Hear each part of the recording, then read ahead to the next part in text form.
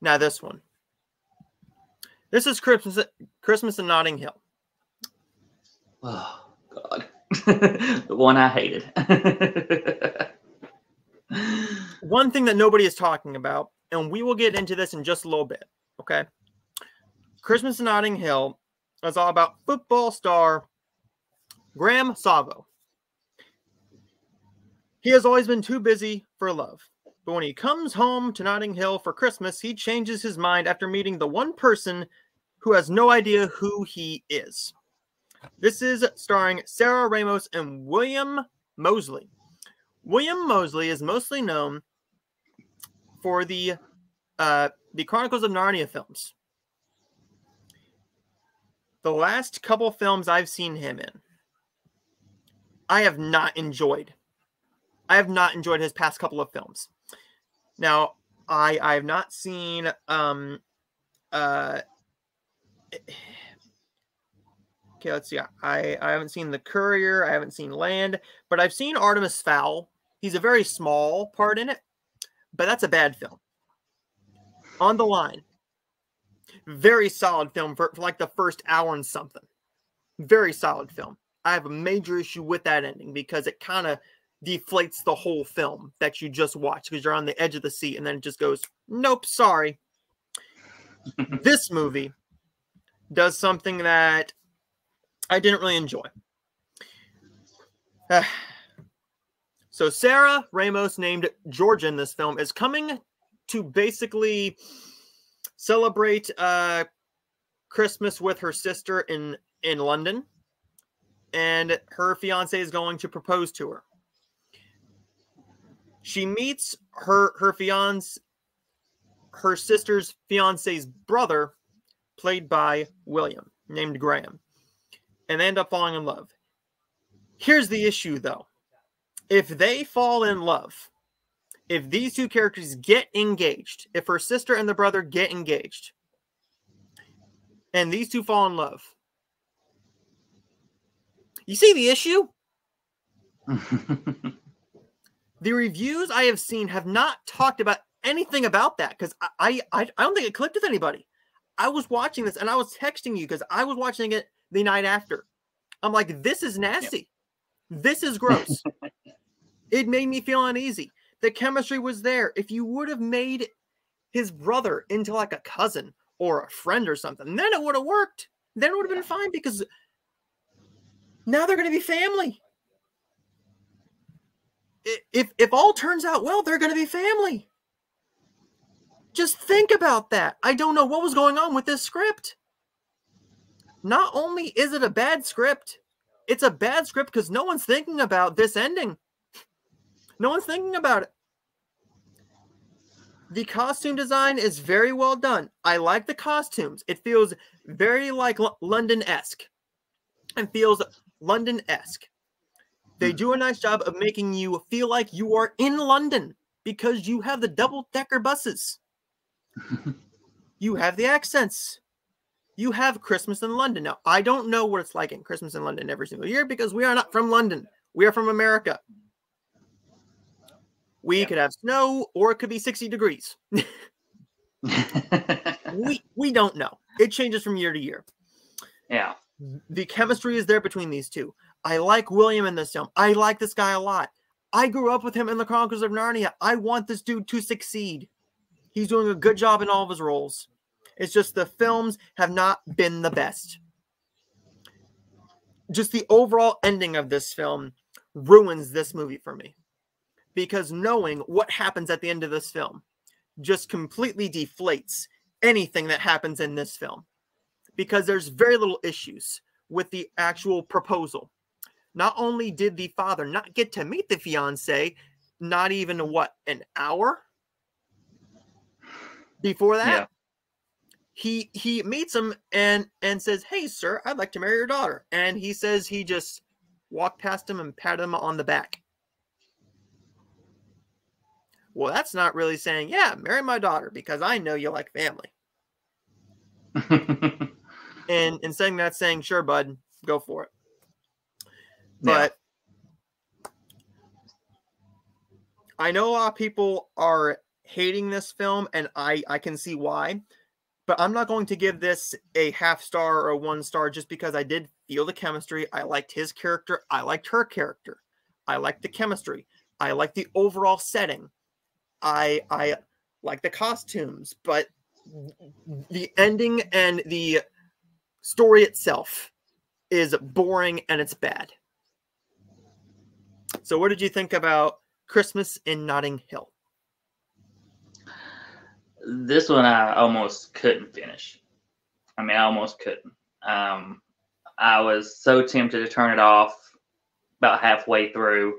I was like, I don't know if I'm gonna make it through this because it just there was nothing going for it. It didn't feel Christmassy whatsoever.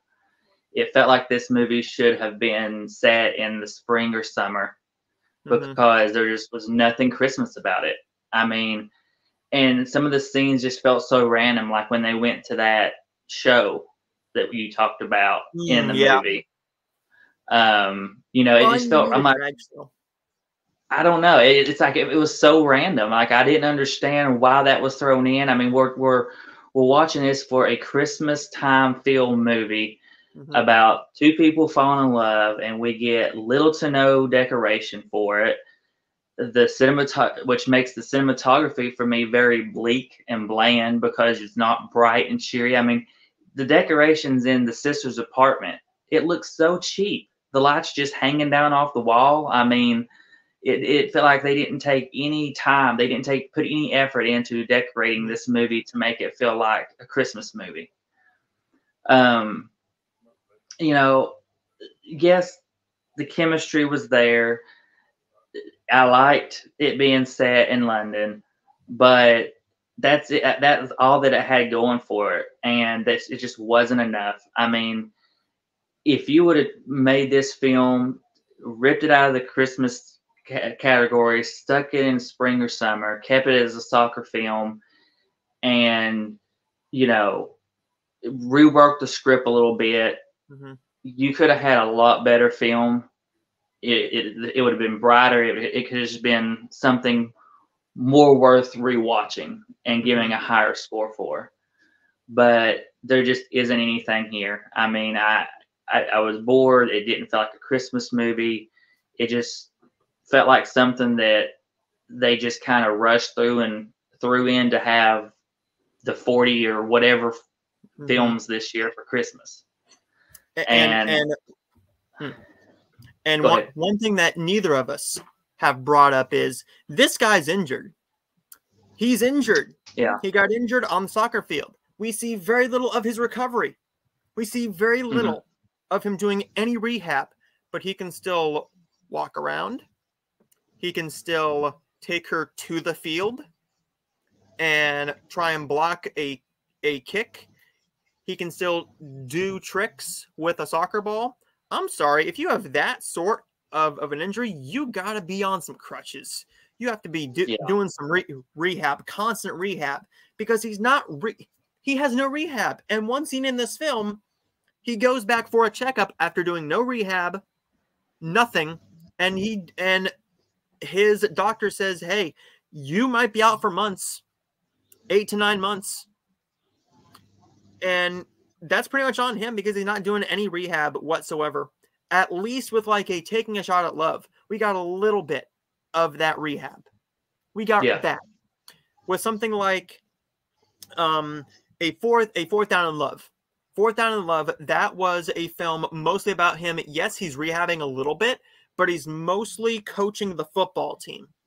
He's coaching mm-hmm. the football team, but this film was a massive disappointment. This could have been so good. This had a lot going for it, but did, did my big issue really b- bother you all all that much with the ending? Uh, it definitely. Uh, I was definitely thinking about that. Mm-hmm. Uh, you know, that was that was definitely coming to me. Um, I was surprised they they went that route with it. Um, but I think my problem was I was so took out of the movie just by how boring and dull it was mm-hmm. that I just stopped really caring, stopped thinking about it because like I said, I was I very I was very close to just shutting it off altogether, anyways.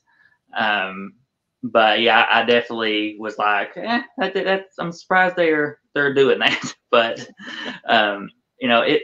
I think you even brought that up with me, and I even mentioned something about it. Yeah, yeah, I even said something to her about it and everything. So it it definitely was the wrong choice to do. I think hmm not the right route to go. Um, one thing also I had an issue with was, in a way, was I felt the mom was sort of.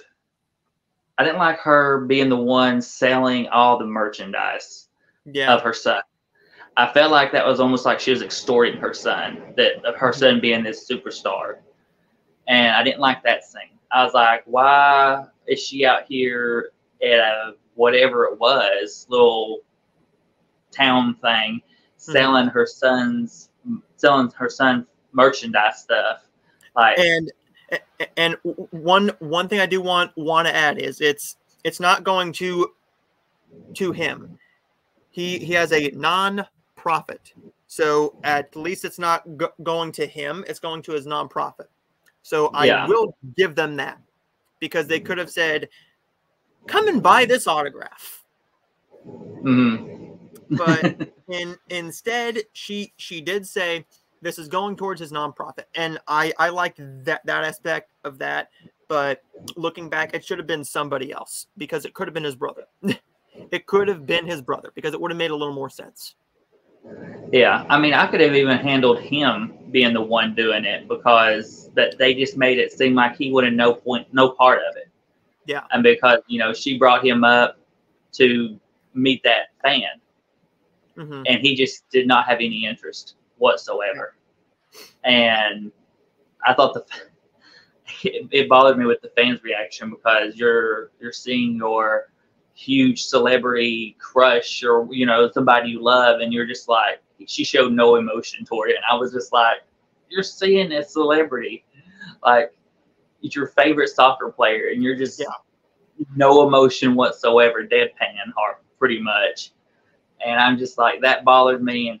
I mean, this this movie as a whole just bothered me. I ended up giving it a, a one out of five. I couldn't. I, I just couldn't go any higher. I mean, there's for a movie I almost was ready to shut off. I couldn't go no higher. i i went with a two and i think that's generous I, hmm. I i i think a two is generous